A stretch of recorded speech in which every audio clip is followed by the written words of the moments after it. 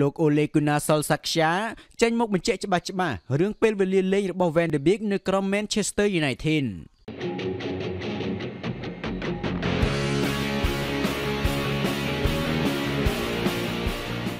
អ្នកចាត់ការទូតរបស់ក្រុមបិសាចក្រហម Manchester United លោក Ole Gunnar Solskjaer បាននិយាយថាកីឡាករជាមុលថ្មី Donny van de Beek នឹងទទួលបានឱកាសចូលលេងនៅក្នុងជម្រើសដំបូងរបស់ក្រុម បន្ទាប់ពីរូបគេបានបង្ហាញទម្រង់លេងដ៏ល្អមួយ អំឡុងជ័យជំនះលើក្រុម Newcastle កាលពីយប់ថ្ងៃសៅរ៍កន្លងទៅជាក់ស្ដែងក្រុមបិសាចក្រហម Manchester United ដណ្ដើមបាន3ពិន្ទុពីការវិបកយកឈ្នះលើក្រុមសារិកាព្រៃដោយលទ្ធផល4ទល់នឹង1នៅឯទឹកដី Stade James Park បន្ទាប់ពីទទួលបានការចាប់ផ្ដើមរដូវកាលថ្មីដ៏ខកចិត្តមួយសម្រាប់ប៉ុន្មាន មិនតែប៉ុណ្ណោះ Van de Beek បានត្រឹមជាប់ឈ្មោះចូលលេងបំរុងដោយចូលលេងលើទីលានបាន14នាទីខណៈគ្រូបង្វឹកលោកអូលេកូណាសុលសាខ្យាបានទទូចថាអតីតខ្សែបម្រើរបស់ក្រុមអេចាគ្រូបនេះនឹងទទួលបានឱកាសលេងកាន់តែច្រើនបន្ថែមទៀតសម្រាប់ការប្រកួតបន្ទាប់របស់ក្រុមបើទោះបីតែទើបអាចបង្ហាញខ្លួនបានត្រឹម59នាទីប៉ុណ្ណោះក្នុងក្របខ័ណ្ឌព្រីមលីករដូវកាលនេះ លើពីនេះលោកអូលេគូណាសុលសាខ្យាបាននិយាយប្រាប់នាយកព័ត៌មានក្រោយចប់ការប្រកួតនេះថាគាត់នឹងទទួលបានពេលវេលាលេងបន្ថែមទៀតគាត់ពិតជាអស្ចារ្យណាស់នៅក្នុងក្រុមខ្ញុំគិតថាអ្នកបានឃើញគាត់បង្ហាញសមត្ថភាពនៅថ្ងៃនេះហើយខណៈចំពោះការវឹកហាត់គាត់ក៏បានល្អផងដែរខ្ញុំគិតថាគាត់នឹងមានអធិពលល្អសម្រាប់ក្រុមរបស់យើង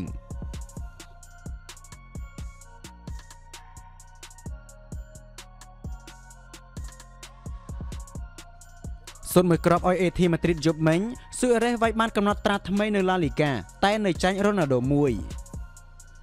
Luis Suarez អាចរកបានគ្រាប់បាល់បន្ថែមទៀតសម្រាប់ក្រុម Atletico Madrid ក្នុងការទទួលជ័យជំនះទល់នឹងក្រុម Celta Vigo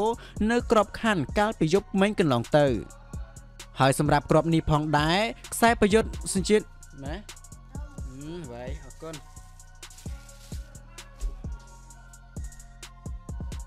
ហើយសម្រាប់ក្របនេះផងដែរធ្វើឲ្យខ្សែប្រយុទ្ធសញ្ជាតិអ៊ុយរ៉ាកាយរូបនេះនៅចាញ់តែកីឡាករ Cristiano Ronaldo ប៉ុណ្ណោះដែលអាចរកគ្រាប់បាល់150គ្រាប់នៅក្របខ័ណ្ឌ La Liga លឿនបំផុតក្នុងសតវត្សទី21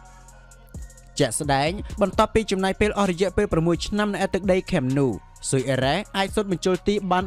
198គ្រាប់តាមរយៈការបង្ហាញខ្លួនចំនួន283លើក ក្នុងចំណោមនោះមាន147គ្រាប់ដែលអាចរកបាននៅលើលីកកំពូលរបស់អេស្ប៉ាញមិនតែប៉ុណ្ណោះក្រោយពីការសម្រេចចិត្តដ៏គួរឲ្យភ្ញាក់ផ្អើលបំផុតមួយរបស់គ្រូបង្វឹកថ្មីលោក Ronald Koeman បានធ្វើឲ្យ Suarez សម្រេចចិត្តដើរចេញពីក្រុម Barcelona ហើយផ្លាស់មកក្រុមគូប្រជែង Atletico Madrid វិញខណៈរូបគេហាក់ទទួលបានការចាប់អារម្មណ៍និងការចាប់ផ្ដើមដ៏ល្អមួយនៅឯត្រនំថ្មីរបស់ខ្លួនគួរបញ្ជាក់ថាលវីសុយអេរ៉េអាចសូត្របញ្ចូលទីបាន3គ្រាប់ត្រឹមការបង្ហាញខ្លួន4ប្រកួតឲ្យក្រុម Atletico Madrid ដែលធ្វើឲ្យទទួលបានកំណត់ត្រាថ្មីមួយក្នុងក្របខ័ណ្ឌជាមួយនឹងការរកគ្រាប់បាល់បាន150គ្រាប់លឿនបំផុតដោយបង្ហាញខ្លួនត្រឹមតែ195ប្រកួតប៉ុណ្ណោះ ហើយមានតែ Ronaldo ប៉ុណ្ណោះដែលអាចធ្វើបានល្អជាងនេះដោយបង្ហាញខ្លួនត្រឹមតែ140ប្រកួតប៉ុណ្ណោះអំឡុងពេលដែលគេលេងឲ្យក្លឹប Real Madrid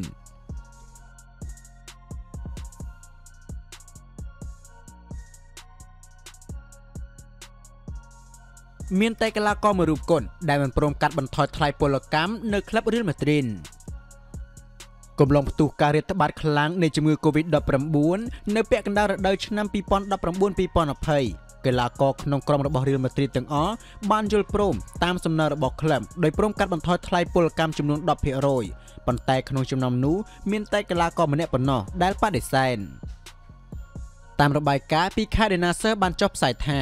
នាយកចាត់ការជាន់ខ្ពស់លោក Jose Angel Sanchez បានបញ្យល់អំពីតម្រូវការនៃការកាត់បន្ថយប្រាក់ពលកម្ម ហើយកីឡាករ Sergio Ramos ដែលជាប្រធានក្រុមគឺជាអ្នកសម្របសម្រួលជាមួយនឹងសមាជិកទាំងអស់ប៉ុន្តែកីឡាករសញ្ជាតិ Wales មិនព្រមយល់ស្របនោះទេ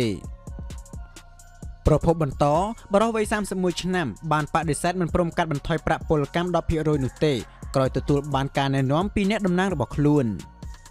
គួរបញ្ជាក់ថាកាលនោះកីឡាកររៀលម៉ាឌ្រីតមួយភាគធំក៏ព្រមលះបង់ប្រាក់រង្វាន់ដែលពួកគេអាចទទួលបានតាមរយៈការឈ្នះ La Liga ហើ ហើយត្រៀមនឹងឲ្យក្លឹបកាត់ដល់20%ទៀតផងប្រសិនបើការប្រកួតមិនអាចវិលត្រឡប់មកបានដូចដើម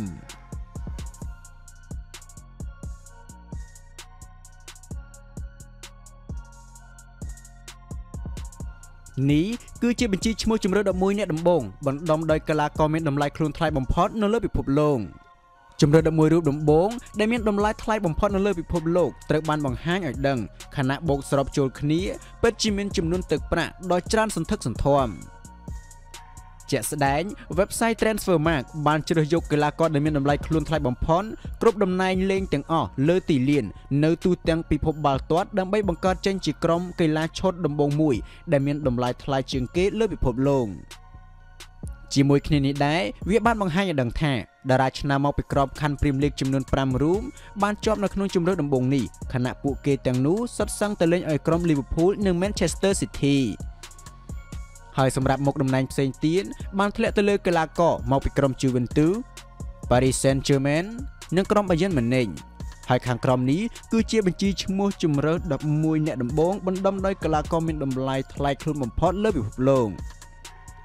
តែមុននឹងបង្ហាញខ្ញុំបាទសូមអភ័យទោសប្រសិនបើអត្ថាធិប្បាយឈ្មោះកីឡាករខុសហើយដើម្បីកុំឲ្យខ្ញុំខុសបន្តទៀតសូមប្រិយមិត្តទាំងអស់គ្នាធ្វើការផ្ដល់មតិកែលម្អនៅខាងក្រោមវីដេអូទី1នៃចាំទី Jen Oblak មកពីក្លឹប Atletico Madrid និង Slovenia គឺមានតម្លៃខ្លួន90លានផោនទី2ខ្សែការពារឆ្វេង Alfonso Davies មកពី Bayern Munich និងកាណាដាគឺមានតម្លៃខ្លួន80លានផោន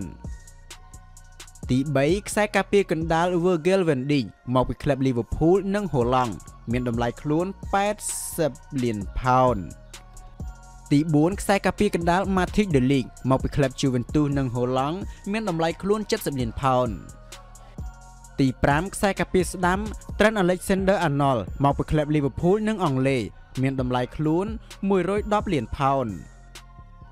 ទី6ខ្សែបម្រើកម្ដាល Chusu Kimmich មកពីក្លឹប Bayern Munich និងអាល្លឺម៉ង់មានតម្លៃខ្លួន85លានផោនទី7ខ្សែបម្រើឆ្វេង Sadio Mane មកពីក្លឹប Liverpool និង Senegal មានតម្លៃខ្លួន120លានផោនទី8ខ្សែបម្រើកម្ដាល Kevin De Bruyne មកពីក្លឹប Manchester City និង Belgium មានតម្លៃខ្លួន120លានផោន